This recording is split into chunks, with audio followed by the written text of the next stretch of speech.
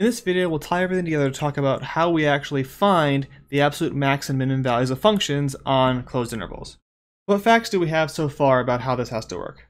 Well, first of all, we know that the absolute maximum value must occur at a local maximum value. Secondly, we know that interior local maximum values must occur at critical points. We have the derivative exists and it's zero, or it doesn't exist. Once we take care of the interior points, the only points that are left are the two endpoints of the interval. And these three facts here give us a pretty good idea of a process we can put together for how to actually solve these problems. What does this process look like? So our first step here is to find all the critical points of f. What that does is give us a list of possible points that could be the max or min if that max or min occurs inside the interval.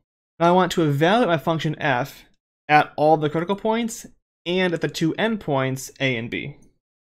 I like to write this into a table that we'll see with the example in a second, just to list all these values and set where they all are and what the values of f are each of these points. Then you just want to look at your list and pick the biggest and smallest one. The biggest gives the absolute max, and the smallest gives the absolute min.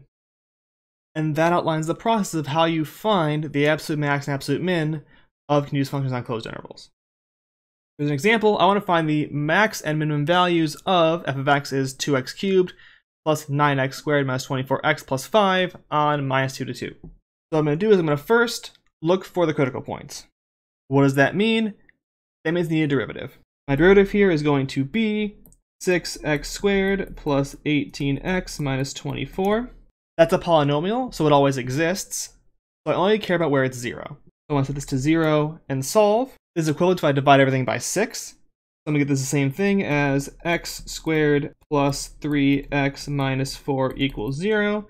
And this factors as x plus 4, x minus 1. Which means my critical points are at x equals minus 4 and x equals 1. Now, because the interval I care about is only minus 2 to 2, I don't care about minus 4. Minus 4 is outside that interval, so I can ignore it. The points I have to worry about now are 1, this critical point, and then minus 2 and plus 2. Let's now plug in all those values into my function f. I have x values of minus 2, 1, and 2. I can plug these into f.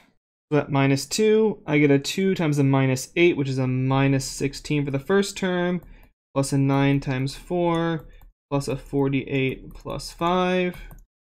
This gives me a 73. If I plug in 1, get 2 plus 9 minus 24 plus 5, which is a minus 8.